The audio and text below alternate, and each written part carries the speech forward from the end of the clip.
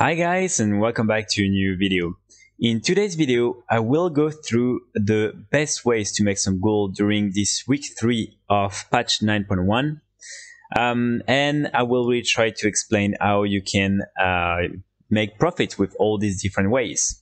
Please keep in mind that again, some of these methods might work on some realms and might not work on your realm. So always check first the market uh, and do a little bit of research before starting to do one of these uh, methods without uh, being sure that you will actually make some profit on your realm. So yes.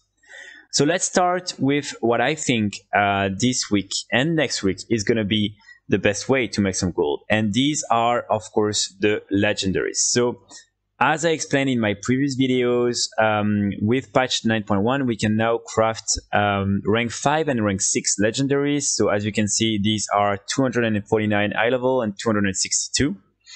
And basically, uh, to craft these different items, you need a base set item that is rank 3 or 4. And then you need to apply um, another thing, uh, vestige um, that you can craft with 40 of these Korthite crystals and other um, materials, and then you can upgrade by two ranks. So if you have a rank 3, you can upgrade to rank 5. If you have a rank 4, you can upgrade to rank 6. So this week, people can only use uh, the rank 5. Only next week, people will be able to start upgrading their legendaries to uh, rank 6, so eye level 262. So hopefully all these different items will sell. As you can see right now the prices are still very very high on uh, my realm but probably they will decrease a little bit um, as soon as more people start crafting them. And um, you know if the the items does don't sell of course uh, we'll have to also reduce a little bit the prices but I think really uh, these legendaries will uh, be the most profitable items uh, this week and next week. Keep in mind that some people might not be interested in buying a rank 5 when they can directly buy the rank 6 next week. But again, this week you might also sell some rank 5 and already some rank 6 because some people might prepare for next week. So for me, really, this is how you're going to be able to make a lot of gold. Of course, again, uh, all the different ranks, uh, so from rank 4 to rank 2 or 1 are still good, especially in rank 4 and 3. Um, I'm still selling like a lot of them. As you can see here, for instance, just sold one of these legs, rank 4 for 95k. So you will still be able to make a lot of gold, but uh, yeah, really try to focus a little bit on the rank 5 and the rank 6 and this is how you're gonna maximize your profit with the legendaries. Also, when it comes to the legendaries, um, keep in mind that the Korthite crystals can be very, very profitable as well. Again, I made a full video on um, these crystals and how to make some gold with them. And keep in mind that people will start more and more to craft all these legendaries. But again, you need 40 of you know these crystals to craft one rank four, uh, 5 or one rank 6 so it requires a lot and trust me um, the prices are just going to increase and increase on these crystals for instance um, i bought all the stocks on my realm and now it's going for 7k which is insane and you can only have 63 at the moment so this is uh, also another way to make some gold through all these different legendaries is just by uh, buying and reselling these Korthite crystals. So let's now talk about the second best way to make some gold. And in my opinion, it's going to be uh, the BOE farming. So I'm only putting it at number um, two because with this rate, Sanctum of Domination, the drop rate is really, really low. I made a full video on how to farm these BOEs, um, and a lot of people commented that they apparently, you know, farm um, BOEs for countless of hours and they didn't receive anything. And I also did it myself. I haven't received any BOEs and probably like I was only seeing one drop every like two or three runs. So it's definitely um, you know, hard, like more difficult than in Castle Nathria to receive these BOEs. But the prices is still really good, especially because this week you can farm the different BOEs in Mythic difficulty, which will have um, an item eye level of 200, 252. Again, to farm uh, in Mythic difficulty, you need to have people who are part of your realm or cross realm. Um, and then you can, of course, farm all the different trash as in Heroic or normal. Uh, these BOEs will for sure sell for a lot, trust me. Uh, but again, I'm just putting it at number two because unfortunately the drop rate is so low that even if it's very profitable to have these items, it's going to take a lot of time. So for me, you will make more profits through the legendaries than through these um, BOEs for sure. But they're still very good. Also, Heroic is still uh, decent. So if you cannot find groups for Mythic, just do also some uh, runs. At number three, uh, we have something that um, won't really apply to everyone, but I'm pretty sure that this week one of the best way to make some gold is going to be boosting. So boosting activities uh, can be from Mythic Plus to Raid uh, to PvP or also Torghast. And um, with the release of the Mythic version, more and more people will be able to start uh, making these boosts in Eric. Um, and also, more and more people are starting to make boosts in PvP, rated RBGs, or arenas. So this is gonna be probably like a really one of the most profitable um, activity at the moment. Again, I'm not putting it at number one because this is really only uh, accessible by a small amount of players. Uh, but still, this is something that will be very profitable, and I'm sure that a lot of people will start making a lot of gold with the new raid, the new uh, rated PvP uh, season, and of course the Mythic Plus. So if you're a good player and you want to make some gold by boosting, um, it's up to you to see, you know, if you can join the community, if you can do it on your own. But uh, yes, this is something that uh, will definitely be uh, very profitable this week and in the coming weeks. At the fourth position, um, I will actually put again the character realm transfer. So I'm not going to explain. Uh, you can see all the different videos when I'm talking about that. But basically, you're just, um, you know, creating a character on a realm, buying a lot of items there. It can be from core crystals and other materials to uh, crafted legendary items or BOEs or mounts. And then you just transfer this character with everything and you just resell on another realm. Um, again, you can make hundreds of millions with this uh, method with all the rank 4 and rank 5, uh, rank 5 and rank 6 uh, and also the different BOEs. Trust me, um, you know, a lot of people are going to start doing it. Um, on my realm, there is already a lot of people who are coming and who are selling all these different items when they're not from the realm. One quickly uh, way to see if, for instance, uh, someone, you know, like crafted the item on your realm or if it's coming from a normal realm. Basically here, for instance, as you can see, um, you have here made by like the name of the player here too and here, when there is no name, these are the items that are from someone who brought them from another realm. So really, this is, you know, like the case with everything.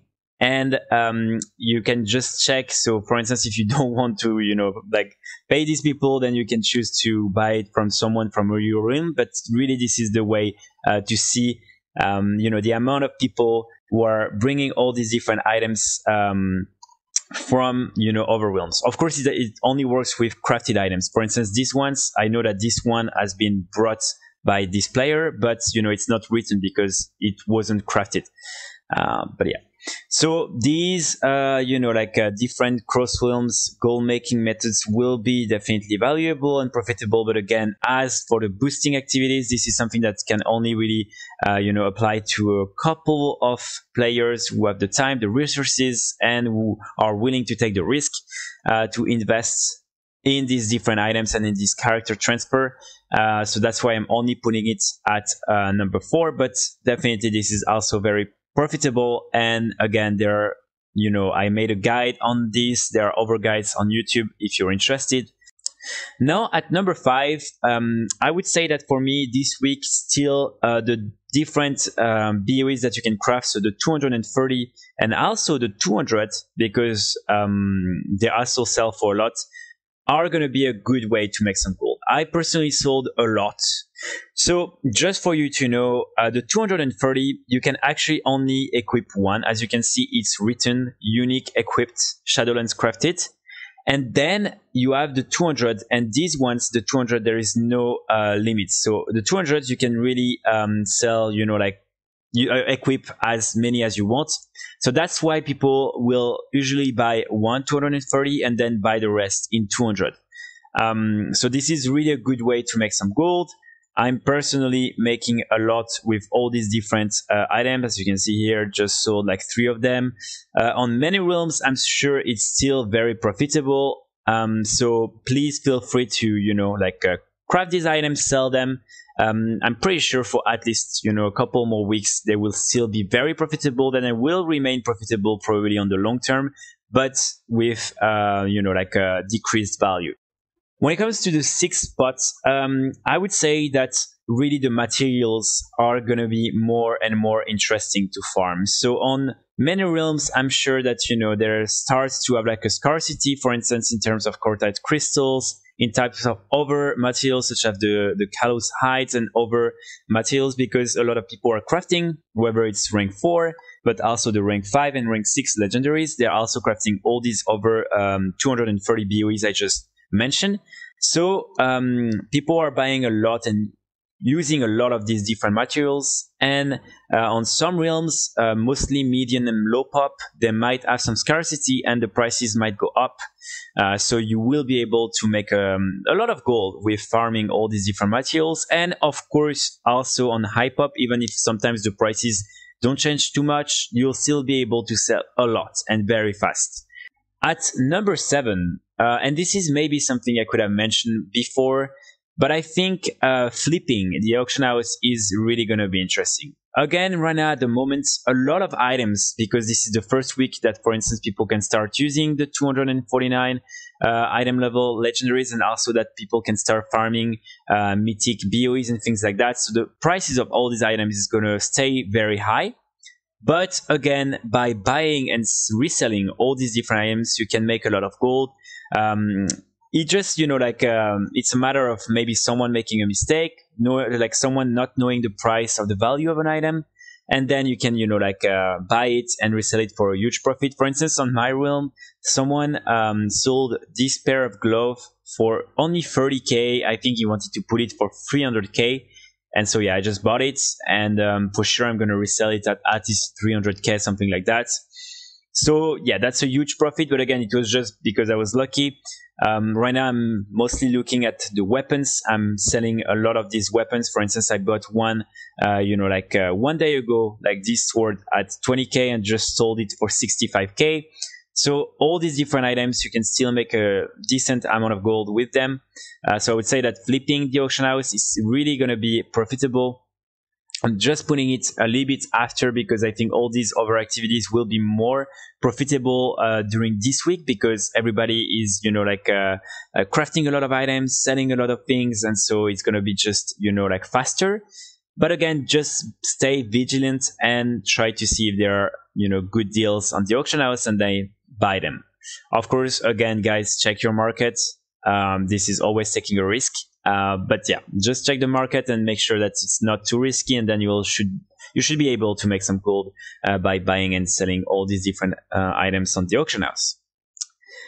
At number eight, uh, I would of course put all the different crafted um, items. For instance, uh, the the missives on some realms can sell for a lot. I sold a lot recently. Uh, really, like since you know, like um, yesterday, I'm really selling a lot. As you can see, you can sell like you know, like um, many of these items, but on some realms, I know that the prices is not interesting enough. So me right now, it's not too bad. So that's why I'm selling some. But on some realm, again, it can be like uh, not a good investment. So check. And of course, you have also all these different enchants and all the different potions and, you know, like food and all these different uh, crafted uh, consumables and um, you know like enchants that you can uh, sell on the auction house. So this is an additional way to make some gold. Definitely, it's not going to be the most profitable, but it's a nice little addition.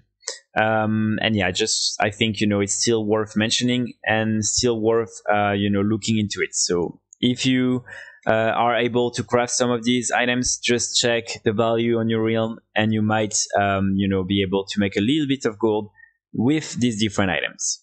At number nine, I will put something that um, is interesting, maybe not on all realms, but definitely something I want to mention. And these are the cosmetic items uh, from Korthia that you are able to farm since uh, patch 9.1. Uh, basically, these are all these different shoulder uh, pads, and you can, you know, like um, farm many of them. As you can see, the sell rate on some of these items is really good here, 1.3 uh, 0.78. On some of them, it's pretty bad, 0.06. But these items can sell. Uh, a lot of people are buying them. And um, this is, you know, like a nice um, alternative to all these other crafting uh, farms and all the different things you can do right now.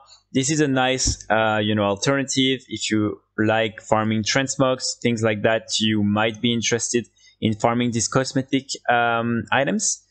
And again, guys, uh, these can sell for a lot. I'm only putting it at number 8 because, again, the thing is that the time you get one of these items, the time you get a good one, that is, you know, like either having a really good price or uh, like a really good sell rate, well, it will take some time. And then also you'll need, you know, like probably like a couple of days at least uh, to sell these different items. So I'm only putting them here because again, like in terms of direct benefits um, this one is a lot of investment and uh, maybe you know like uh, not the most efficient uh, way to make some gold right now at the moment.